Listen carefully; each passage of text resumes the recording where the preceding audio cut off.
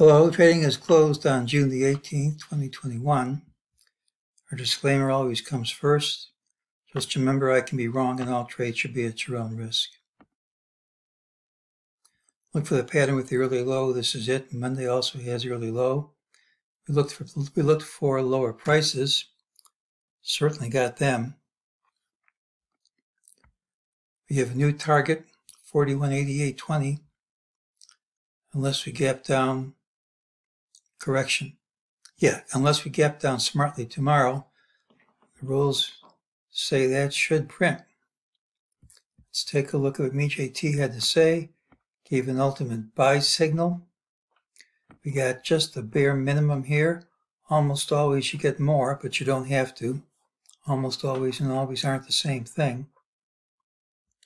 Now it says this drop is false because that's a target of 4188.20 most likely to print on Monday. If you gap down smartly, numbers still on the table, but not the time.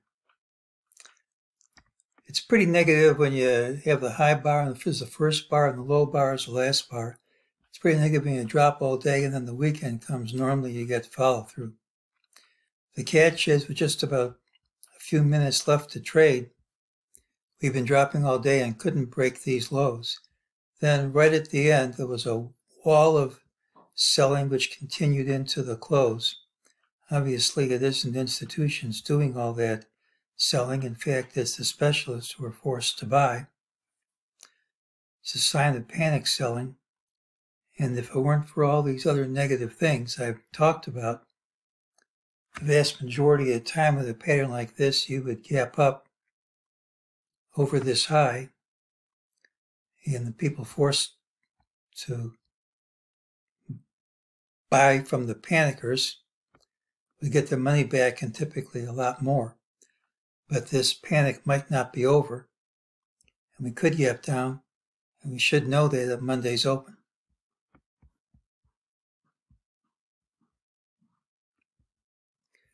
Well, this was June 16th, the date we had for the high. It's held so far. I'm going to assume that that's it for this leg. If we trade over it, then I'm wrong. It happened before. We now have our first challenge. You connect these lows.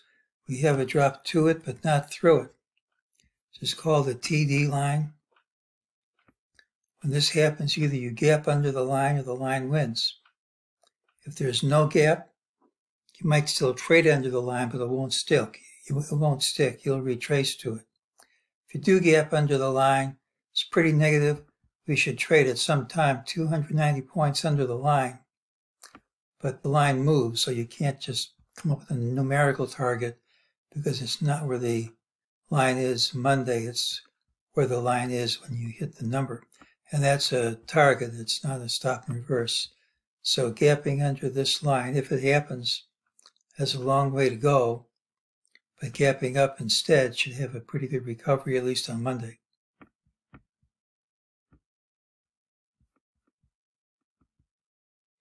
Well, Monday's pattern does have the early low.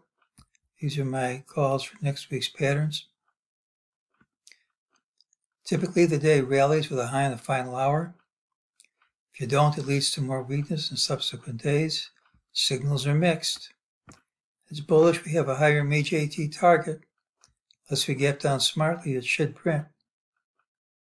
The timing of the wall into and just after the close suggests panic selling, often met by gapping up when the market reopens. But it's negative. We dropped all day with a high in the first bar and a low in the last bar, almost always, and particularly over the weekend. This leads to follow through when the market reopens. And when that happens and you gap up instead for the short term at least, is very positive. Gapping under today's low, unless promptly reversed, should lead to a drop of 290 points under the rising trend line shown in the video. If we don't gap under the line, the line should win. If there's no gap, you could still trade under the line, but it should retrace. Doesn't have to happen the same day. So we're calling a major top here. This is the kind of action I really expect this to get a major top, a straight line drop, no chance to get back in if you don't enter early. No chance to get back in at a reasonable price, that is. Norminski's back Monday. We'll hear what he has to say.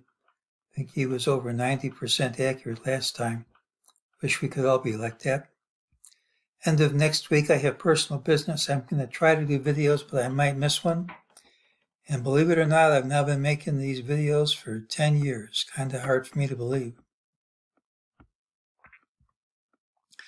Monday's pattern has the early low. Good chance we gap up over this line. See how the market never forgets these FOMC numbers? It's kind of amazing.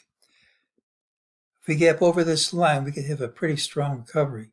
But if we gap under it, the bottom falls out, not necessarily all in a day, because we have a, a uh, target hundreds of points lower.